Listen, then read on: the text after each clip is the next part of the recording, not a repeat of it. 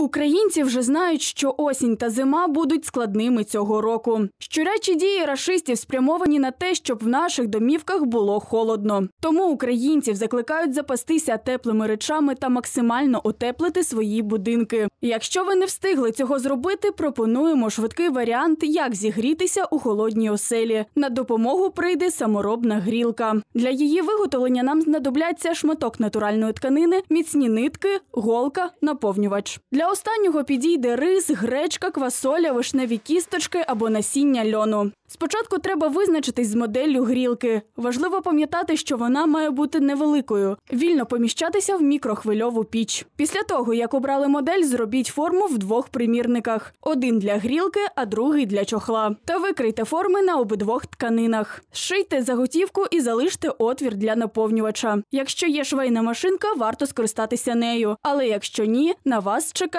копітка робота. Наповніть грілку в нашому варіанті це рис і щільно зашийте отвір. Шийте викрійки для чохла. Краще це зробити за принципом наволочки, щоб була можливість прати чохол. Але пам'ятайте, що перед тим як класти грілку в мікрохвильову піч, потрібно знімати чохол. І готово. Такого типу грілку краще гріти в мікрохвильовій печі кілька хвилин, а потім під ковдру чи плед. Тепла від такого доробку вистачить надовго. Нами перевірено, навіть без ковдри грілка тримає тепло півтори години, тому це гарний спосіб швидко зігрітися. Валерія Лисенко, Дмитро Пропастін, Кременчуцькі новини.